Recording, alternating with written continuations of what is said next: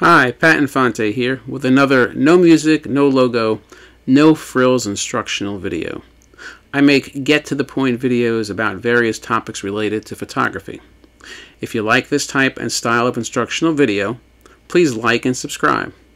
And why not hit the bell icon so you'll be notified each time I release a new video. Now let's get to it. As the thumbnail indicated, this is for Capture One uh, and about its uh, recipe uh, function. So uh, sometimes people are confused, especially if they're coming from Lightroom or another um, post post processing tool. They wonder what these recipes are. Um, sometimes the implication is um, sounds more complex than it actually is. But basically, what recipes are is a collection of settings that will be used when you output your particular image. So when you take your image and you put it out to uh, whatever file type you've choos that you're choosing, um, with particular uh, settings for resolution or uh, watermark or uh, size, all these things can be stored in a recipe. You can have multiple recipes, and you can actually generate images from multiple recipes at the same time. So the way you get to the recipes is you need to go to export. And in a previous video I uh, we spoke about the exporter. And if you hadn't seen that I will link that video at the end. Uh, but we, here we are in capture one.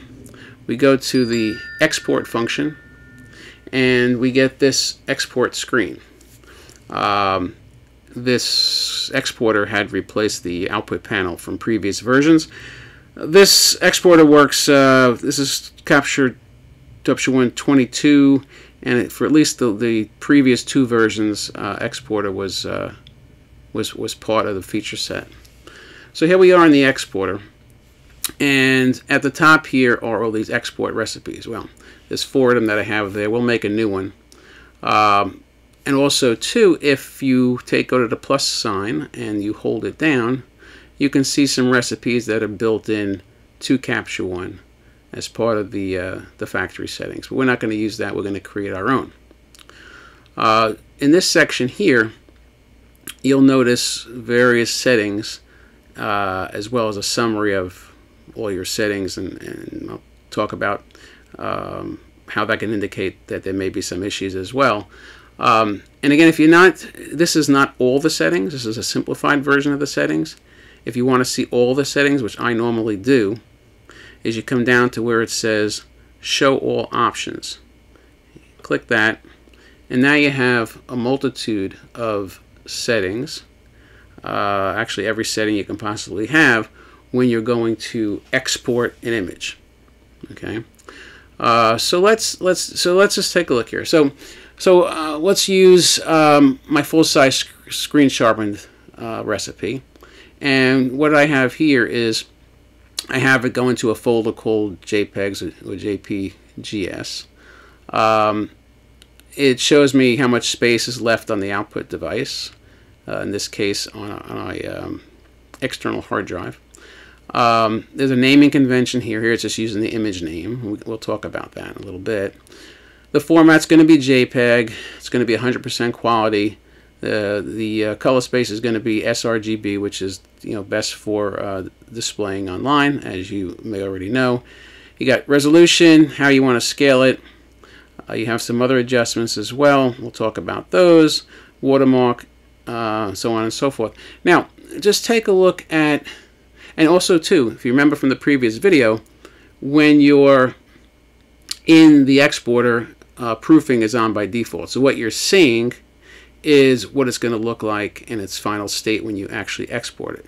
So for instance, um, just to show you how these settings are saved per recipe, if I go down to uh, Instagram optimized, notice it actually changes size because Instagram is set for uh, 1080 width on pixels and that is, or I believe up to this time, is what's the recommended uh, horizontal for a landscape type image on Instagram, but it's 1080 pixels. So it's scaled down to 1080 pixels on the width. uh, we kept the ratio in place, so it automatically changes the, the vertical as well to keep the uh, proportions. Uh, if I use another uh, recipe here, this is full-size print sharpened. Uh, what you'll notice here, output sharpen for print.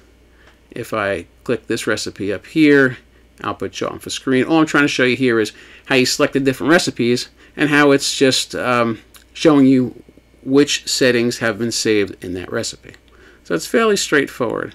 Um, also, too, there's checkboxes, as you notice, next to each of these recipes. That's because you can actually output the, you can export the image using multiple recipes. So you can get, say, a, a full-size screen sharpened version, and then maybe you want a uh, lower resolution JPEG, a smaller file, because you want to um, post it somewhere uh, on Facebook or on a website. And then maybe also, too, you need to um, put it over on uh, Instagram. You'll, you can generate all those various uh, outputs at the same time. Um, now, one other thing too. It, now, notice when I clicked this, right, the image didn't change. That's because you need to select it to show you what particular uh, what it's going to look on the output. So, uh, whatever one you're highlighting is what you're actually looking at, which is something interesting as well. Let me show you something else. If I unclick these here, okay, uh, I go down to uh, summary. You can see what that says right there. It's a summary of, you know, of, of, all the settings, basically. Not all the settings, but the majority of the settings. And if I go and click on another one, but I don't actually check mark it, notice this turns red here. That's because we're looking at a recipe, but we haven't selected it for output. If I select it, that red goes away. So even if I didn't have any check marks at all, and I was just looking at my recipes, that's not going to give you your output. You have to check it. Again, the warning is this is red here. If I click it up here, it's not red anymore. So let's just go ahead and make a new uh, recipe. So to do that, you hit the plus sign, and it'll say untitled recipe. We'll just call it uh, uh, test one. Okay. And I'm going to uncheck that one there. And now this is the the one that's orange is the active, the one that we're looking at. Okay. Again, we're not talking about what's going to happen during the export. This is the one we're looking at. Okay. So it comes up with a set of default parameters. Okay. So let's take a look. Um, first of all, where it's going to go, like uh, you know where where the file is going to reside, once where you ex where you where you're exporting it to. So in this case, I'm actually exporting it to uh, downloads, which is actually defined in the catalog. Uh, if I wanted to, I could actually select, uh, choose folder, and go actually, it'll bring you, this is a Mac, um, it'll bring me to um, uh, the file finder. Uh, on a PC, it'll take you to uh, a directory.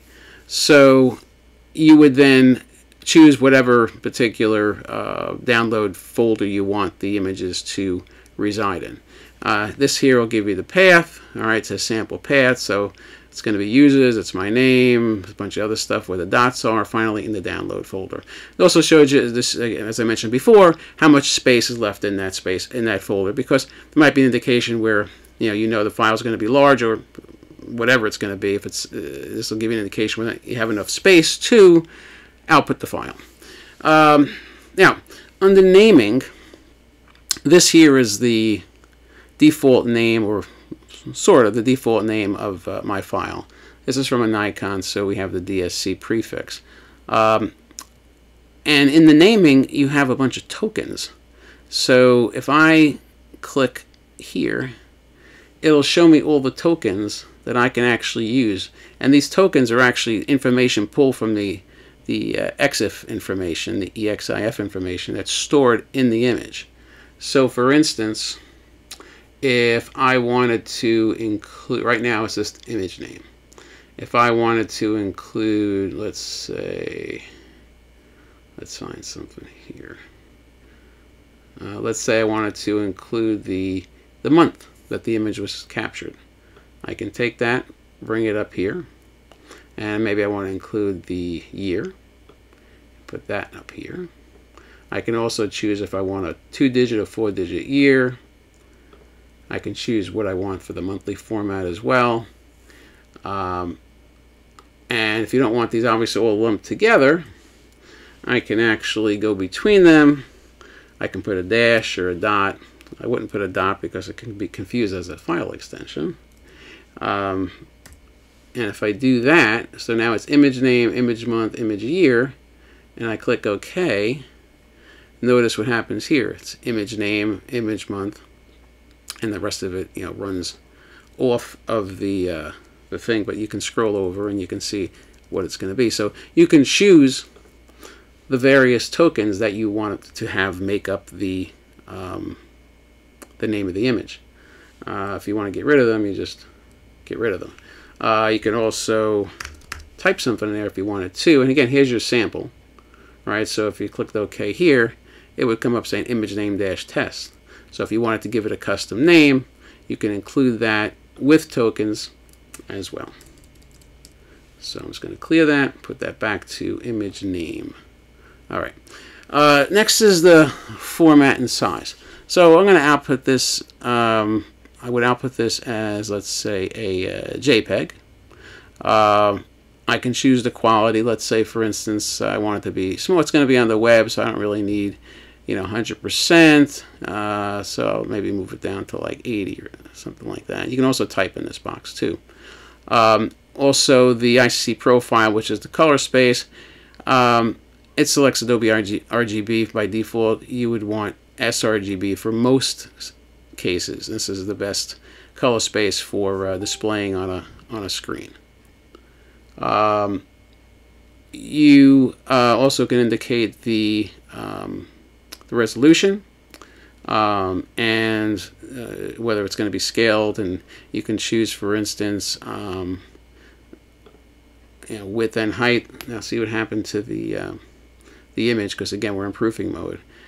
I, this is inches. If I change it to pixels, uh, I could, you know, change this to uh, 2000 pixels and 1200, whatever.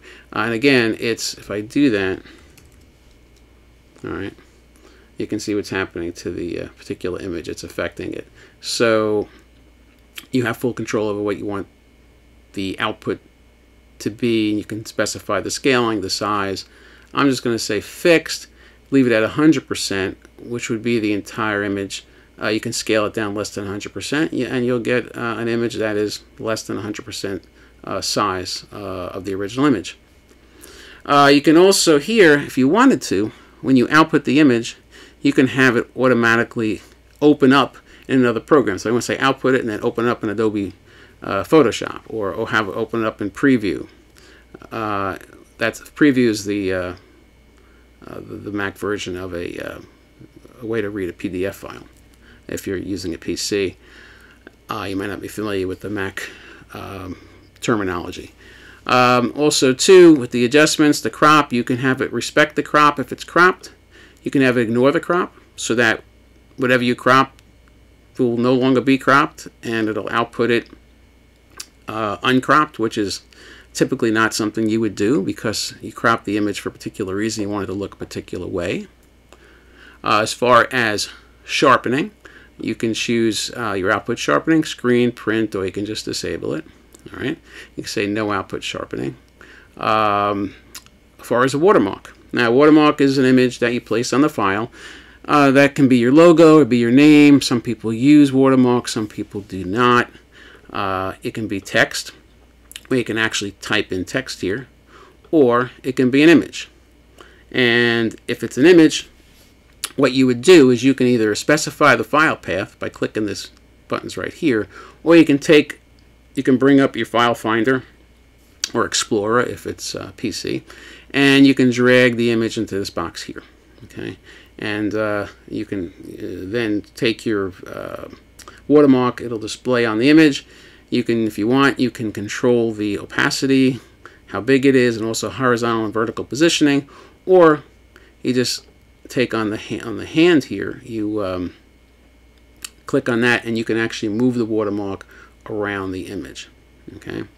Uh, I don't have a, a watermark set uh, in this profile, so that's why I'm not actually showing you. But once you drop a file here, uh, or you put in the particular path, uh, you will see uh, your watermark on your image, if you so choose.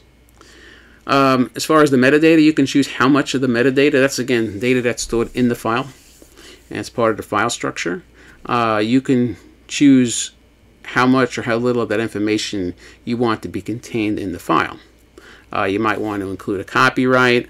Um, you may or may not want to include GPS coordinates if you didn't want someone to know exactly where it was taken, provided the camera had the ability to input that.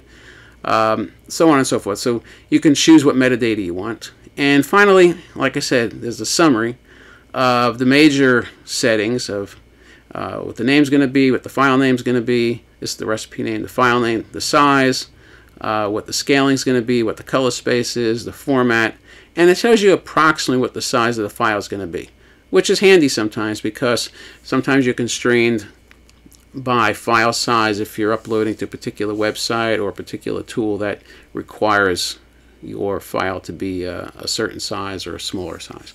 Um, now, again, up here I've clicked on test so that's the one that will actually uh, get exported when I come down over here the lower right of the screen where it says export image uh, that's one's going to get acted upon if I uncheck it this turns red because it says hey you're looking at a uh, uh, you're looking at a recipe uh, but it's not selected for uh, for output so if I click that here like that, that will be, but let's say I wanted to do my test recipe and also do a full-size screenshot and at the same time, I can do that. But again, I'm getting the red prompt down here because while I'm looking at that, and that's what I'm seeing here on the screen, that recipe, I'm not selecting it. When I select it, the red goes away. Now, we created this new recipe called test, right? I'm not going to export this. I'm actually going to close the exporter. And if we then go back to export, if I go to test, the settings that we made uh, are still here. So there's no place where you actually have to save the recipe. It's automatically saved by virtue of just uh, adding a recipe, giving it a name, and then setting these parameters here. So that is pretty much it. Uh, if you have any questions or comments, leave them down below. I uh, normally respond to all comments and questions. Um, if you are a beginner, uh, either in uh, capturing photos or in uh, editing photos, I also have a Facebook group called Photo 101 and Beyond with Patrick F. Infante. Um, there is a link on my main YouTube page for that. And um, again, if you find these videos helpful, please click the like icon. It will help others find my videos. And consider subscribing and hitting the bell so you'll know when I release new videos. Thanks for watching. I'll see you in the next one.